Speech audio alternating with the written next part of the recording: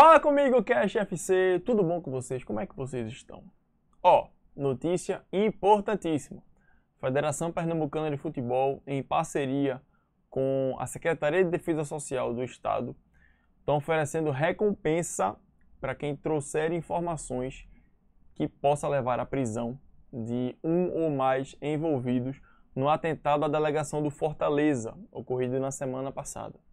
Mas antes da gente se aprofundar um pouco nesse assunto, deixa eu pedir uma coisa para você.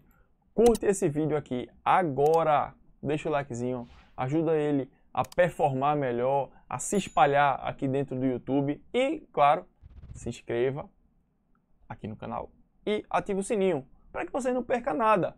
Ó, a gente está fazendo live de pré-jogo direto do estádio, bate-papo, inclusive com o último foi o CEO do Fortaleza, Marcelo Paes análise, notícia, informação, rodada cast, cara, muita coisa. Então, para que você não fique de fora disso, para que você seja bem informado e faça parte disso com a gente, você se inscreve, ativa o sininho e, novamente, deixa o likezinho, deixa o joinha para ajudar a gente, beleza? E vamos ao que interessa. É, você deve saber, você deve se lembrar, e caso não lembre, eu vou lhe contar essa história agora que após a partida entre Esporte e Fortaleza na última semana pela Copa do Nordeste, o ônibus que levava a delegação da equipe cearense sofreu uma emboscada por um grupo de 80 a 100 homens, é, 100 homens ou mulheres, né? Mas de 80 a 100 marginais travestidos de torcedores que emboscaram o ônibus, né? E atacaram o ônibus com pedradas, explosivos e, e dejetos, né, detritos que estavam na beira da pista, né, oriundos de uma construção, de uma obra que estava sendo realizada. Sei que desse ataque, é, seis jogadores do Fortaleza se feriram, uns de uma forma menos grave, outros de forma mais grave, mas graças a Deus é, ninguém veio a óbito, mas ainda assim foi um caso muito sério, né, que expôs a insegurança, né, expôs a violência ligada ao futebol, mas não que, que não ocorre por culpa do futebol, mas ela está direta ou indiretamente ligada ao futebol.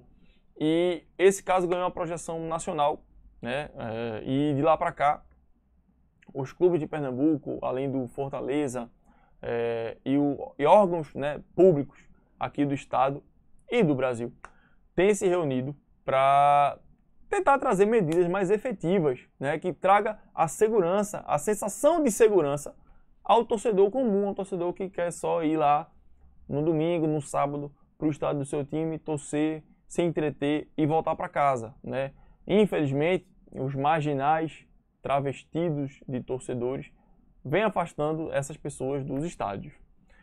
Diante disso, né, e, e em consequência dessas reuniões, né, que envolveu o governo do estado, a Federação Pernambucana, a, é, braços do governo do estado, né, como a Secretaria de Defesa Social.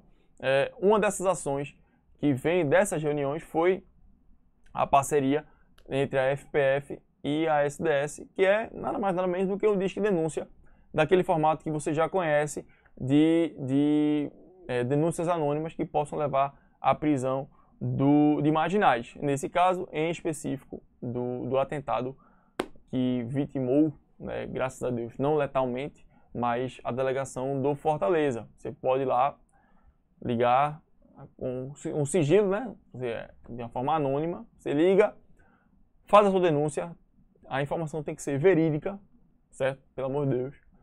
Informação verídica que leve uh, à prisão de, dos envolvidos nesse, nesse caso. E aí a recompensa oferecida é de mil reais. Então, se você tem alguma informação, né, se você tem algum, algo que possa levar à prisão de, dos envolvidos nesse caso, você pode buscar o disco de denúncia. Eu vou colocar o número aqui na descrição do vídeo, né, que são números específicos para essa ação, né, chamada Juntos, Juntos pelo, pela página do futebol, né, que é específica aqui do, do estado de Pernambuco.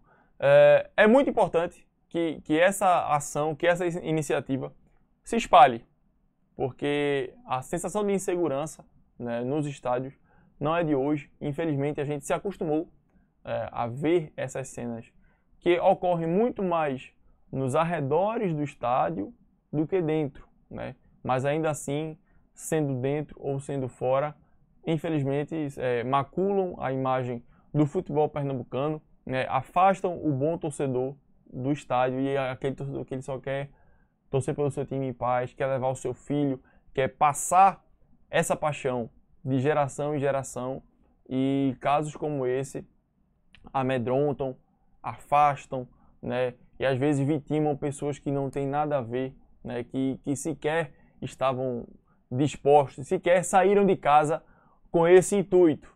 Então, se você tiver alguma informação, você pode fazer a denúncia pelos números que eu vou colocar aqui na descrição desse vídeo. E a gente pode aguardar ainda mais ações é, dos órgãos públicos visando a, a segurança né, no, nas praças desportivas aqui do estado de Pernambuco. Vale lembrar que o STJD puniu o esporte preventivamente né, por, por esse incidente.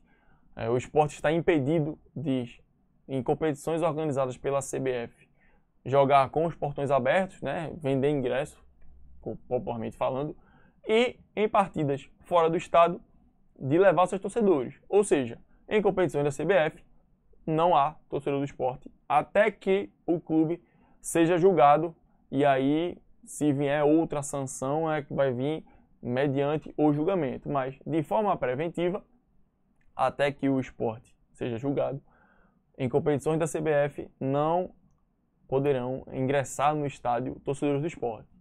Essa punição não vale para o Campeonato Pernambucano, porque ele é organizado pela FPF, que é a Federação Pernambucana de Futebol. Né? O esporte está na semifinal do Pernambucano, só deve jogar, só, só vai jogar por essa competição no outro final de semana, do dia 7, mais ou menos, dia 7, dia, dia 8.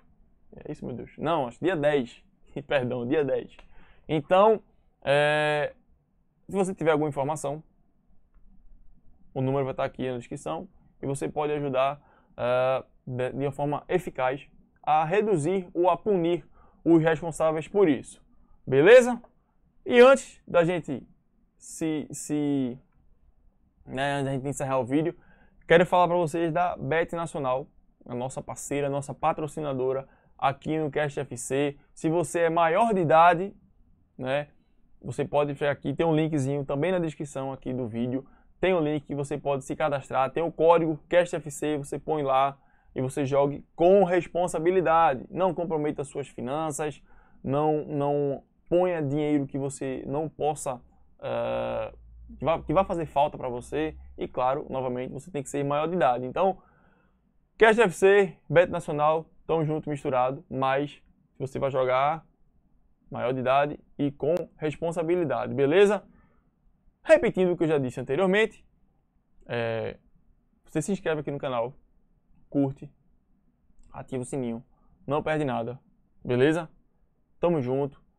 Se você é novo aqui, seja bem-vindo ao Cast FC e vamos que vamos.